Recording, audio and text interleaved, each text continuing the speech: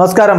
റാഫ്ടോക്കിന്റെ U C L ടോക്കിലേക്ക് അവർക്കും സ്വാഗതം. യുവേഫ ചാമ്പ്യൻസ് ലീഗിൽ എഫ് സി ബാഴ്സലോണയും പി എസ് ജിയും തമ്മിൽ നാളെ ഏറ്റുമുട്ടുകയാണ്. നാളെ രാത്രി ഇന്ത്യൻ സമയം ഒന്നേ മുപ്പതിന് അതായത് സാങ്കേതികമായി മറ്റന്നാൾ പുലർച്ചെ ഇന്ത്യൻ സമയം ഒന്നേ മുപ്പതിന് എഫ് സി ബാഴ്സലോണയുടെ മൈതാനമായ ക്യാമ്നോയിൽ വെച്ചിട്ടാണ് ഈ മത്സരം നടക്കുന്നത്. ഈ മത്സരത്തിന് ഇറങ്ങുമ്പോൾ ഏവരും ആകാംക്ഷയോടെ കാത്തിരുന്ന ഒരു മത്സരമാണ് എന്ന കാര്യം നമുക്ക് എല്ലാവർക്കും ഓർമ്മയുണ്ട്. കാരണം ഇതിന്റെ ഒരു നറുക്കെടുപ്പ് വന്ന സമയത്ത് തന്നെ നെയ്മർ ജൂനിയറും ആ, ലയണൽ മെസ്സിയും തമ്മിൽ കൊമ്പ് കോർക്കുന്നു. രണ്ട് വളരെ അടുത്ത സുഹൃത്തുക്കൾ തമ്മിൽ എതിർ ടീമുകൾക്ക് വേണ്ടി കളിക്കാനിറങ്ങുന്നു എന്ന ആവേശമായിരുന്നു നമുക്കുണ്ടായിരുന്നത്. മാത്രമല്ല ബാഴ്സലോണയുടെ മുൻ താരമായ നെയ്മർ ജൂനിയർ നേരത്തെ പി എസ് ജിയെ ബാഴ്സലോണ ക്യാമ്നോവിൽ വെച്ച് പരാജയപ്പെടുത്തുമ്പോൾ ബാഴ്സലോണയ്ക്ക് വേണ്ടി മിന്നും പ്രകടനം കാഴ്ചവെച്ചിട്ടുണ്ടായിരുന്നു. അതേ നെയ്മർ തന്റെ പഴയ ക്ലബിലേക്ക് ക്യാമ്നോവിലേക്ക് ബാഴ്സലോണയുടെ മൈതാനത്തേക്ക് പി എസ് ജിയുടെ പ്രധാനപ്പെട്ട താരമായി മടങ്ങിയെത്തുന്നു എന്ന ഒരു കൗതുകകരമായ വസ്തുതയും അവിടെ ഉണ്ടായിരുന്നു. പക്ഷേ അതൊന്നും നടക്കാൻ പോകുന്നില്ല എന്നറിഞ്ഞപ്പോൾ മുതൽ ഫുട്ബോൾ പ്രേമികൾക്ക് വലിയ നിരാശയാണ്. നെയ്മർ ജൂനിയർക്ക് പരിക്കേറ്റു.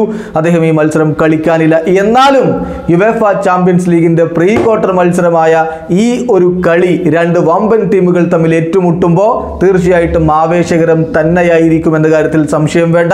ഈ രണ്ട് ടീമുകളുടെയും ഒരു ഫോം ഗേഡിലേക്ക് പോയാൽ ഏറ്റവും ഒടുവിൽ ബാഴ്സലോണ കളിച്ച അഞ്ച് മത്സരങ്ങളും അവർ വിജയിച്ചിട്ടുണ്ട്. നമ്മൾ ഈ കണക്കുകൾ എടുക്കുന്നത് യു എഫ് ഐയുടെ ഔദ്യോഗികമായ വെബ്സൈറ്റ് നൽകിയിട്ടുള്ള വിവരങ്ങൾ അനുസരിച്ചാണ്. പി എസ് ജി അവസാനമായി കളിച്ചിട്ടുള്ള അഞ്ച് മത്സരങ്ങളിൽ അവർ നാലെണ്ണമാണ് വിജയിച്ചിട്ടുള്ളത്. ഈ രണ്ട് ടീമുകളുടെയും ഹെഡ് ടു ഹെഡ് റെക്കോർഡിലേക്ക് പോവുകയാണെങ്കിൽ പി എസ് ജി മൂന്ന് തവണ വിജയിച്ചപ്പോൾ ബാഴ്സലോണ നാല് മത്സരങ്ങൾ വിജയിച്ചു മൂന്ന് മത്സരങ്ങൾ സമനിലയിൽ അവസാനിച്ചു. ഇത്രയും മത്സരങ്ങളിൽ നിന്ന് ബാഴ്സലോണ നേടിയത് ഇരുപത്തി ഒന്ന് ഗോളുകളാണെങ്കിൽ P S G P S G തിരികെ ബാഴ്സലോണയുടെ വലയിലേക്ക് എത്തിച്ചിരിക്കുന്നത് പതിനാറ് ഗോളുകളാണ്. ഈ രണ്ട് ടീമുകളുടെയും ഓൾ ടൈം ടോപ്പ് സ്കോറർമാരെ കൂടി എടുത്താൽ യു സി എല്ലിലെ കണക്കാണ് നമ്മൾ പറയുന്നത്.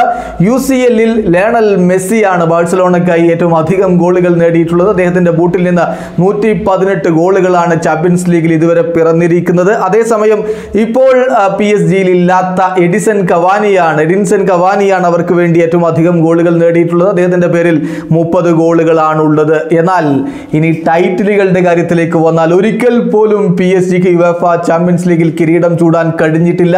കഴിഞ്ഞ തവണ അവർ ഫൈനലിലേക്ക് എത്തിയിരുന്നു. പക്ഷേ വിധി നിർണായകമായ ആ ദിവസം നിർണായകമായ രാത്രിയിൽ നെയ്മർ ജൂനിയർക്കും സംഘത്തിനും ഒരു ഗോളിന്റെ ഒരു മാർജിനിൽ ബയൺ മ്യൂണിക്കിനോട് പരാജയപ്പെടാനായിരുന്നു വിധി. എന്നാൽ ബാഴ്സലോണയുടെ ചരിത്രത്തിൽ അഞ്ച് യു സി എൽ കിരീടങ്ങളുടെ നക്ഷത്ര തിളക്കമുണ്ട്. അത് തന്നെയാണ് രണ്ട് ടീമുകളുടെയും ഹിസ്റ്ററി പരിശോധിക്കുമ്പോഴുള്ള ഒരു പ്രധാനപ്പെട്ട വ്യത്യാസം. ഏതായാലും ഈ രണ്ട് ടീമുകളും തമ്മിൽ ഏറ്റവും ഒടുവിൽ ഏറ്റുമുട്ടിയ യു സി എല്ലിൽ ഏറ്റവും ഒടുവിൽ ഏറ്റുമുട്ടിയ മത്സരം ഓർമ്മയുണ്ടാകും. അന്ന് ക്യാംനോവിൽ വെച്ചിട്ട് ബാഴ്സലോണ ആറ് ഒന്നിന് വിജയിക്കുകയായിരുന്നു. അതിന്റെ അത് ഒരു വല്ലാത്ത മത്സരമായിരുന്നല്ലോ. ആദ്യം പാരീസിൽ പോയി നാല് പൂജ്യത്തിന് ബാഴ്സലോണ പരാജയപ്പെടുന്നു. തിരിച്ച് വിജയിക്കണമെങ്കിൽ ഗോളടിച്ച് കുട്ടിയെ പറ്റൂ എന്ന അവസ്ഥ. അവിടെ നെയ്മർ ജൂനിയർ അവസാന നിമിഷങ്ങളിൽ കാഴ്ചവെച്ച മാന്ത്രിക ചുവടുകൾ എല്ലാവരും കണ്ടു. രണ്ട് ഗോളുകളും ഒരു ഗോളിന്റെ അസിസ്റ്റും ഒക്കെ അദ്ദേഹം മത്സരത്തിന്റെ അന്തിമ നിമിഷങ്ങളിൽ കൊടുത്തുകൊണ്ടാണ് ബാഴ്സലോണയെ കൈപിടിച്ച് മുന്നോട്ട് കൊണ്ടുപോയത്.